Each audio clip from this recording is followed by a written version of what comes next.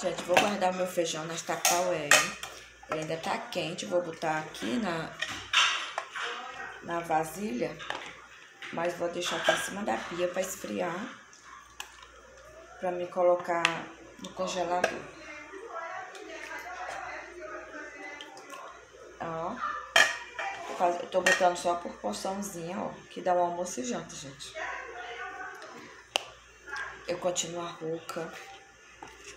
Ai, que situação chata, viu? Mas bora lá. Vocês estão me entendendo, gente? Eu vou, eu vou deixar aqui na legenda bem direitinho. Pra se vocês não estiverem entendendo, vocês vão ver aqui que eu tô falando. Ó, vou colocar esse outro aqui. Aqui dá três vasilhinhas. Desse jeito que eu tô fazendo, ó.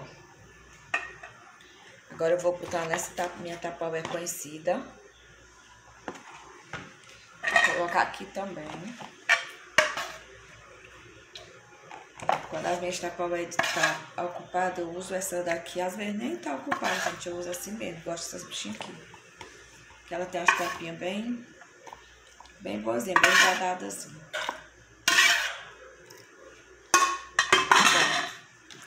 Agora eu vou tampar. Vou deixar em cima da pia. Até que esfrie, eu, antes de eu dormir, eu boto no congelador. Deixa aqui tudo tampadinho. E aí vocês fazem assim, gente. Vocês cozinham muito feijão e guarda para quando vocês quiserem. Todo dia tirar uma, uma tapauézinha dessa. É assim que eu faço. Eu, nunca, eu não cozinho feijão todo dia, não. Eu boto feijão para um, dois, três dias. Economizar gás, né? É isso aí, gente. Um abraço até o próximo vídeo.